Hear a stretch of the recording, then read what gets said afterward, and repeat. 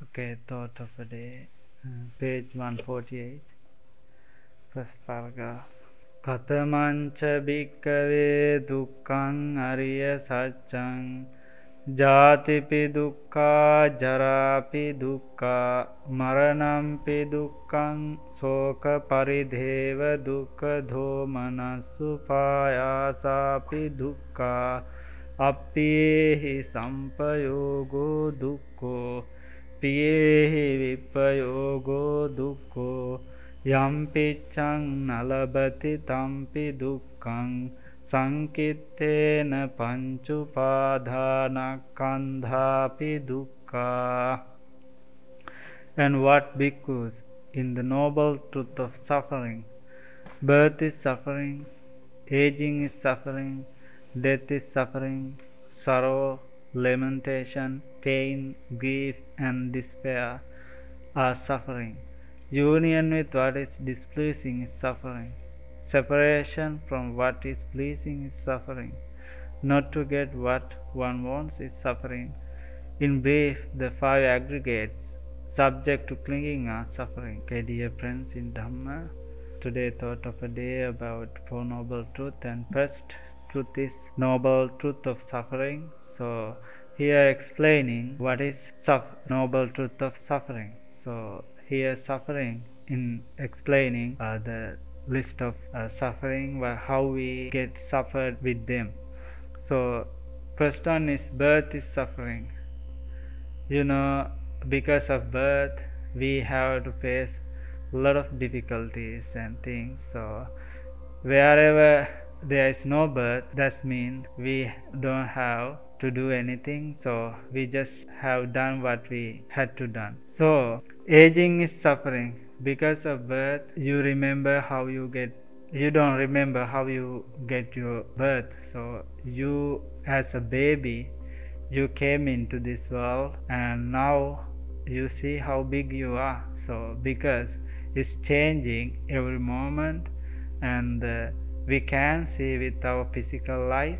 So that's why but uh, but one thing is we getting old and uh, we physically we get weakness day by day according to our age. But our, our attachment or our tanha is become young because as a baby we had a little but we wanted something little but we could survive with little stuff but you remember when you're getting young we need what we see what we like. So we try to achieve try to get those things because our greedy is becoming younger and younger day by day. The but our body is becoming uh, decay. And the death is suffering and uh, we birth and getting old. Then next one is we have to get into death. So then sorrow lamentation pain grief and despair are suffering.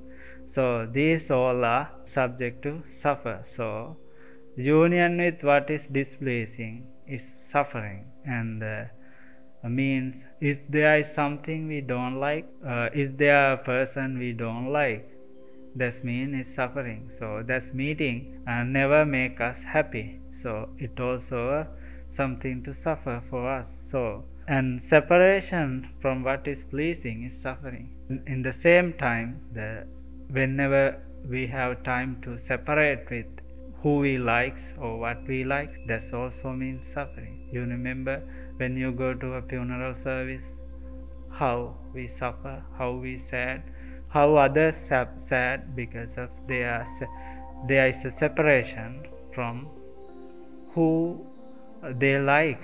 So they are beloved relatives they are beloved parents they are beloved uh, neighbor something. So we all suffer.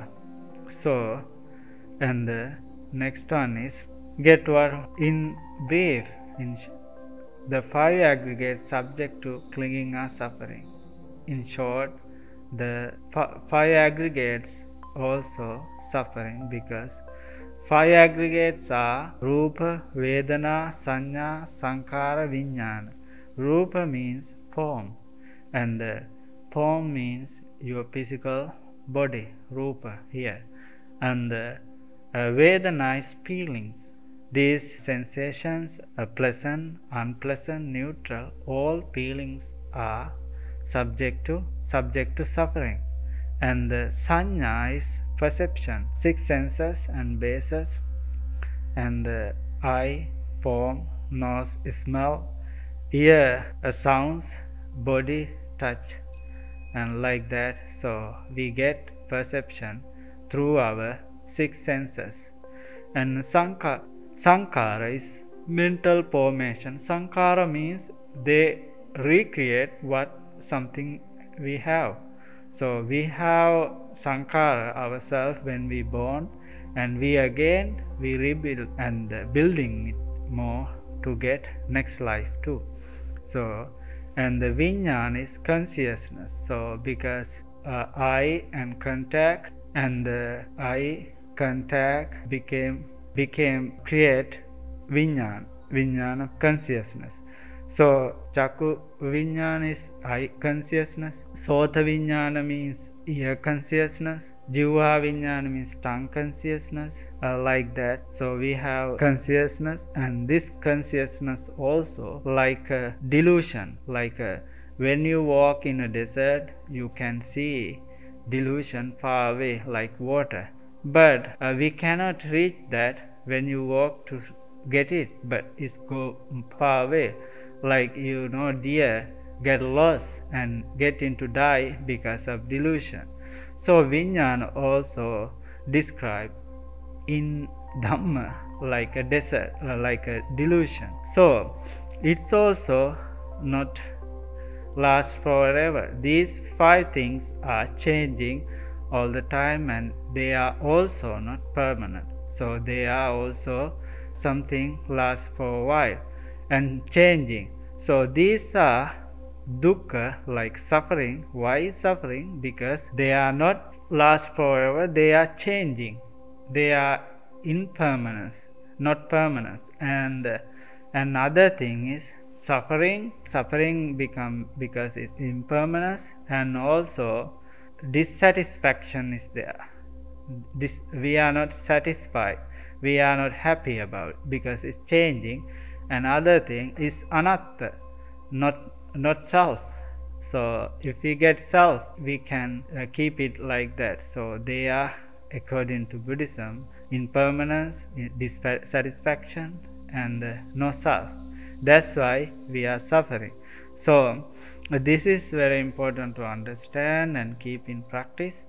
So, everything is in this world is belongs to dukkha satya, like suffering, uh, noble truth of suffering. This building, uh, this monastery, and all the people here and uh, all the items and surrounding things, everything in this world beyond liberation does mean noble truth of suffering. So everything is changing, everything is impermanent and no self so that's how things happen in the world. So this is the truth. So buddha explaining it and he realized it and he explained to understand for us. So with this noble truth of suffering i conclude this thought of a day. And with this thought of a day may you have a peaceful, peaceful day. Uh, wow.